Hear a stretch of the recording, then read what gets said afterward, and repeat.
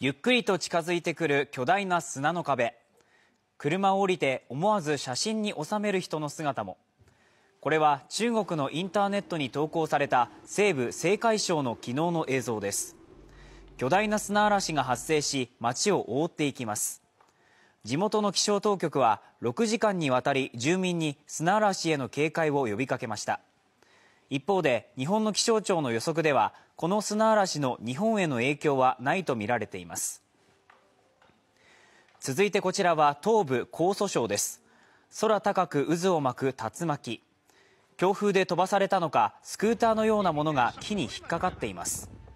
昨日発生した竜巻で市政府や現地メディアによると1人が死亡20人以上が怪我をしたということです。